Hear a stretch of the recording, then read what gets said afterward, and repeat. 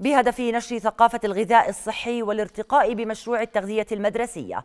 أطلقت وزارة التربية والتعليم بالتعاون مع برنامج الأغذية العالمي التابع للأمم المتحدة الاستراتيجية الوطنية للتغذية المدرسية 2021-2025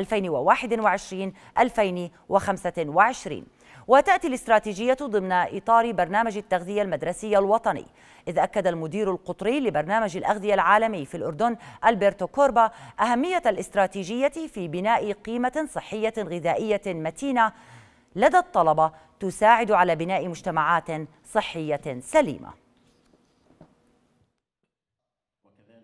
جاء إعداد استراتيجية التغذية المدرسية ضمن أولويات الوزارة واهتمامها بالطلبة لما لمسناه من آثار إيجابية خلال مراحل تنفيذ مشروع التغذية المدرسية والمتمثلة بتحسين الوضع الصحي لطلبة المدارس والتقليل من الغياب والتسرب بينهم وتمثل هذه الاستراتيجية خارطة طريق للسنوات الخمس القادمة والتي تهدف إلى تأمين وجبات صحية لطلبة المدارس الحكومية بمعايير تغذوية مدروسة.